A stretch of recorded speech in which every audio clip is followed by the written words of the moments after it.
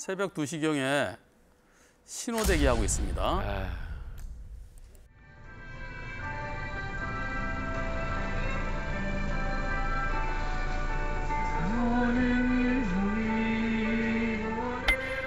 어 뭐야 왜 뭐야 왜 저래? 왜, 왜? 왜? 이유가 뭔데요? 아직 몰라요. 폭발한 거예요? 그치 순간. 아, 계속 하시는 것 같아. 그죠. 뭐야, 뭐야? 그 다음에 어떡할까요? 저 차가. 오나? 여기로 오는 거예요 설마? 너무 밝은데? 튜닝한 거 같은데 저거. 설마 여기로 오는 거야 뭐야? 뭐야? 오 뭐야?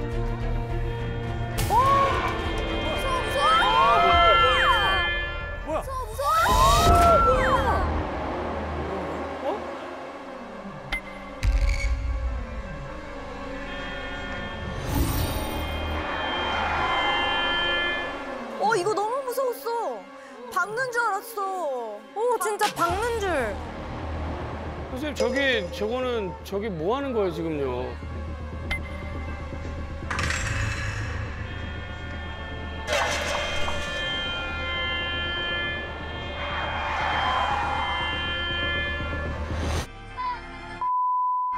어머.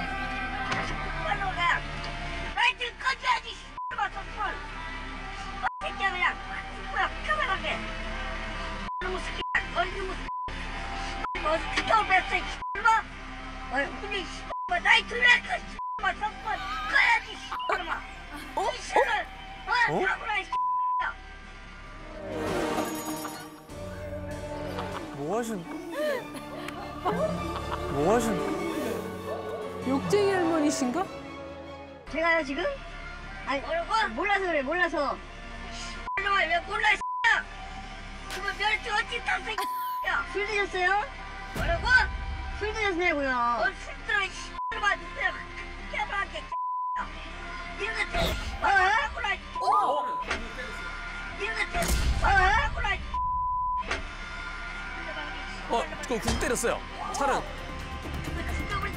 경찰서에서 오시다 경찰서 경찰서에서 오자고요 어 뭐야 진짜로? 오해했나? 이게 무슨 일이에요? 왜 그랬을까요? 이거 음주 아니에요? 음주예요? 아까 저도 음주가 아닌가 의심스러운 거예요. 음주 아니에요. 와. 맨정신이에요? 아, 예, 맨정신이에요. 어 말도 안 돼. 근데 왜 화가 난 거예요? 왜 그랬을까요? 왜, 왜 그랬어요 진짜로?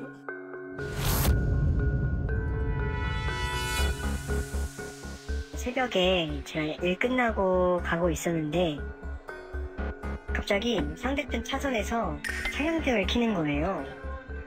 그러고서는 중앙선 침범해서 제 차량 앞에까지 달려들었었고 이러다가 사고 나나 싶은 생각이 드니까 무서워서 아무런 반응을 못했었어요.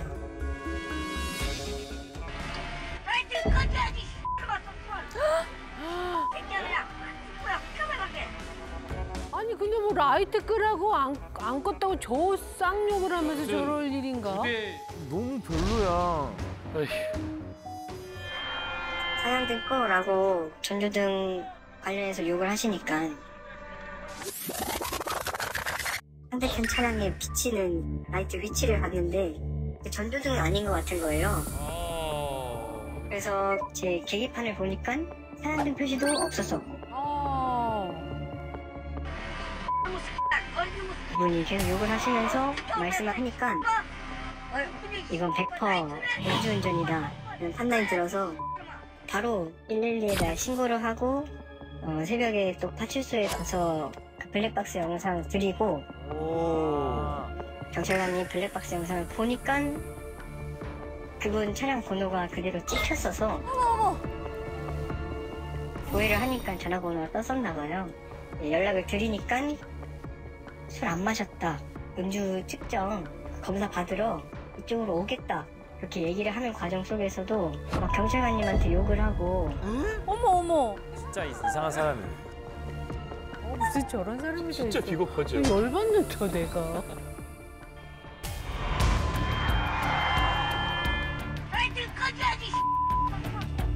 경찰서에서 조사를 받으신 것 같은데 제가 눈이 아픈데 상대방이 전조등을 켰다. 어머. 뭐야 저거? 그럼 안경을 끼시던가 밤에 나오질. 마시던가. 야간에 운전하면 안 되지. 야간 운전을 하시면 안 되지. 그럼 그럼 매번 저렇게 싸운다는 거야? 아니 그러니까.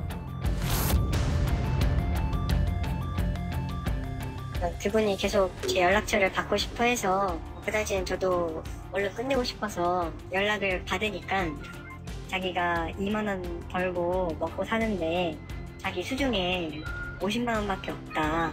이거 줄 테니 합의하자 이런 식으로 아 너무했다. 말씀을 하셔서 그 합의할 마음이 딱 사라지더라고요. 너무 기분 나쁘죠.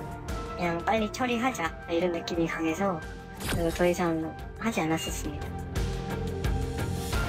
지금 특수 협박이랑 재물 손괴 혐의로 검찰로 송치됐다고 들었었습니다. 다시는 도로 위에서 모든 사람에게 피해를 주는 이런 일을 하지 않았으면 좋겠어요. 저 자체가 뭐예요? 보복. 나 협박했죠. 위험 운전. 그죠? 위협했죠. 예. 예. 그리고 보복 운전 하고 and and? 아, 근데 재물손괴? 재물손괴죄. 차가 움푹 들어갔어요. 오. 네, 수리비 몇십만 원 나올 정도. 어머 어떻게 손으로 그렇게 했어? 오, 왜 그러실까? 재물손괴 and 쌍욕. 욕을 너무 했어요. 욕을 욕 하나 욕을 욕을. 기분 상해.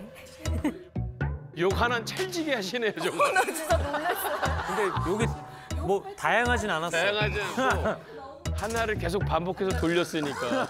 목이 쉬었어 나중에는. 라이트 꺼